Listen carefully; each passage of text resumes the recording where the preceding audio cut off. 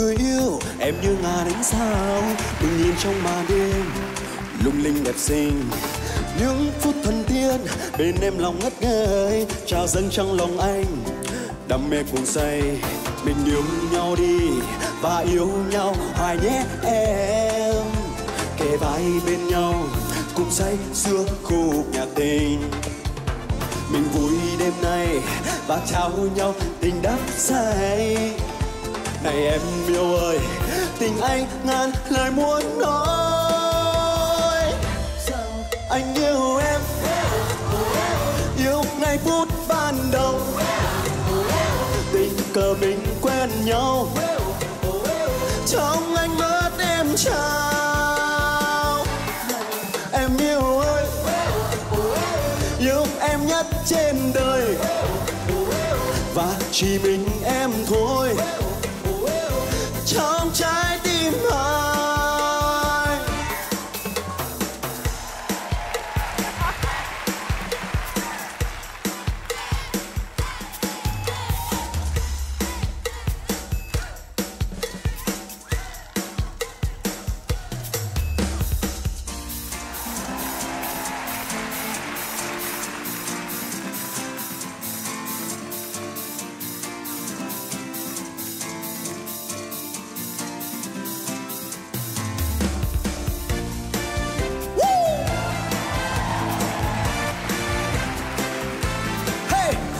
thân nhỏ bé xin kính chào đại gia đình nhá.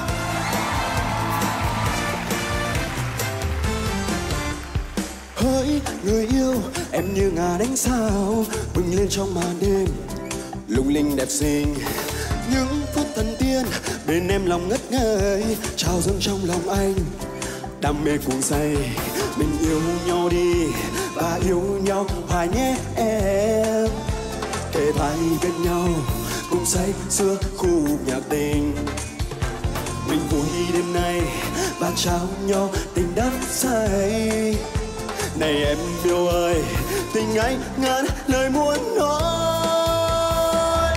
Rằng anh yêu em, yêu ngay phút ban đầu.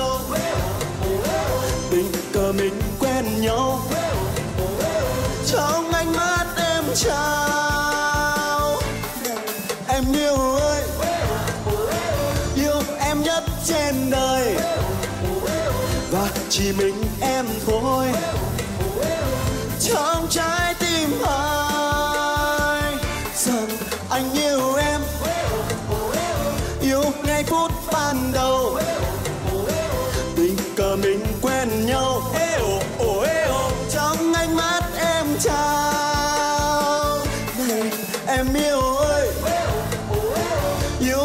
nhất trên đời. Và chỉ mình em thôi. Trong trái tim anh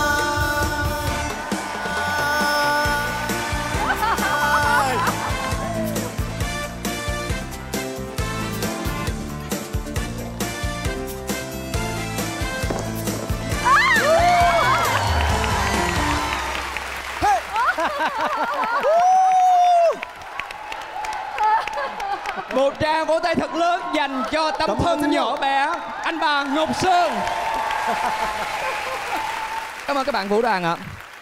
Anh bà Ngọc Sơn thân mến, chào khách em nghe mọi người trong nghề mình đồn rất là nhiều về anh. Nói anh có một cái cột hơi rất là dài. Bởi vì là anh rất là chăm tập luyện thể dục thể thao đúng không anh? Ngày hôm nay á, anh có thể làm thử một cái cho em coi được không? Tại vì hồi trước giờ nghe không mà chưa bao giờ được chứng kiến tận mắt hết á. tình chạm áp như vầng thái dương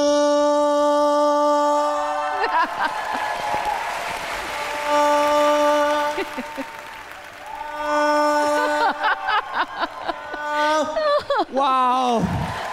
Không phải. Nếu mà làm anh ba Ngọc Sơn cái hơi dài á, Thì phải là cái câu mà, Và này con yêu ơi, Con hãy nhớ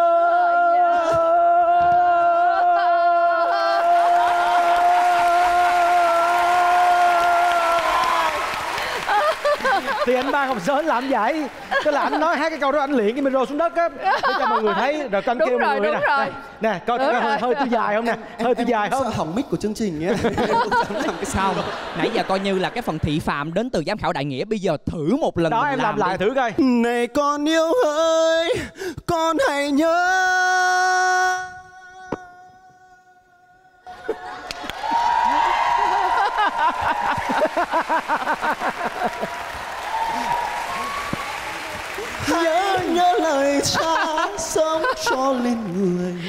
và con ơi chớ. Cái chỗ này nữa nè. Chớ. Luyện micro lần nữa. Luyện micro lần nữa.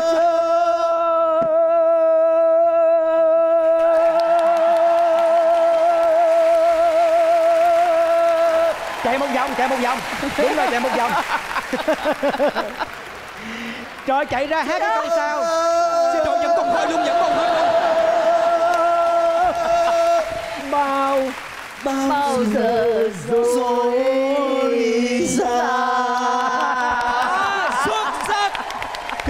cục hơi gì mà?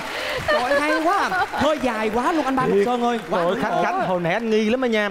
Lúc mà anh ba Ngọc Sơn á mà ca cái hơi đó Chạy vô trong Anh nấu bữa cơm anh ăn xong anh chạy ra cái hơi vẫn còn đó. Trời ơi. Không em cũng đang tình nghi là anh ăn cơm Sao anh còn đánh răng rửa mặt Anh mới ra đây một lần nữa. Đúng rồi đó hơi dài lắm Chưa kể anh cái còn đó ngủ một giấc cái đó kìa. hơi quá. Vâng à, một tràng pháo tay thật lớn dành cho Phạm Việt Thắng. Em cảm ơn mọi người rất nhiều Quá xuất sắc rồi Con ngồi ở bên dưới Con coi bạn. Xong con thấy là ba vị ban giám khảo ngồi trên đó là rất là hứng thú với cái tiết mục này Đặc biệt là con thấy là cô Kim Xuân rất là phấn khích. Cho con hỏi lý do tại sao ạ? à, đầu tiên thì à, cái tiết mục của con cái tính giải trí nó dễ sợ lắm. Cái tính giải trí nó tới mức mà bạn đại nghĩa phải nhào ra là con hiểu rồi đó. Và đúng hồi nãy lúc mà con hát đó cô chờ con hít đất đó.